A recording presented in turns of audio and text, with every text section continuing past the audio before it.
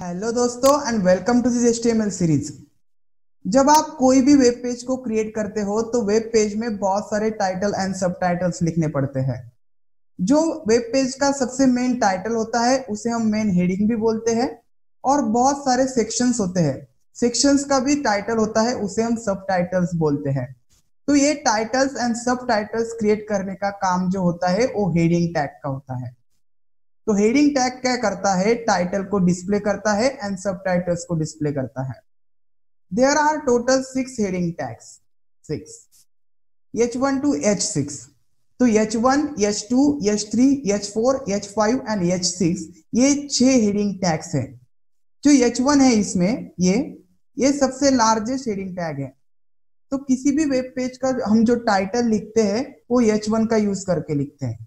क्योंकि H one title के लिए यूज़ होता है। ये सबसे बड़ा जो टाइटल है हेडिंग है अपने वेब पेज का, उसको प्रिंट कराने के लिए एच वन का यूज़ होता है।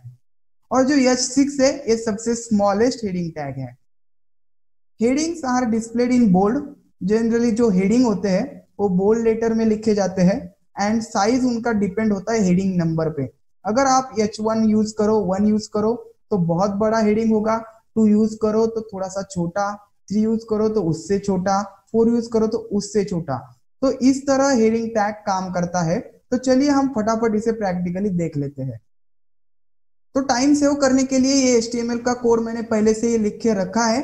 इस फ़ाइल को मैंने मेरे फोल्डर में सेव किया है और इसे वेब ब्राउज़र में रन भी किया है।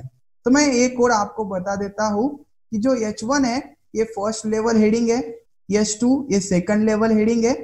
एच थ्री ये थर्ड लेवल हेडिंग है। एंड सो ऑन तो जो एच वन के अंदर है, ये सबसे मेन हेडिंग है। तो ये बहुत बड़ा दिखाई दे रहा है।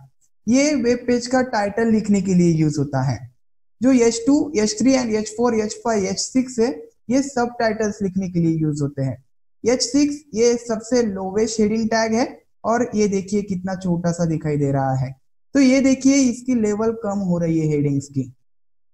तो हेडिंग्स को टेक्स्ट को बोल्ड करने के लिए एंड बिग करने के लिए कभी भी यूज़ नहीं करना है। हेडिंग टैग को यूज़ करना है सिर्फ़ हेडिंग्स को लिखने के लिए। तो ये थे हेडिंग टैग्स तो इस तरह हम हेडिंग्स को अपने वेब पेज पे लगा सकते हैं। सिक्स हेडिंग टैग है ये याद रखना है। एंड याद रखना है कि हेडिंग टैग्स को सिर्फ़ टेक्स्ट को बोल्ड करने के लिए यूज़ नहीं करना है। Thanks for watching this video and अगर वीडियो अच्छा लगे तो please like and subscribe thank you very much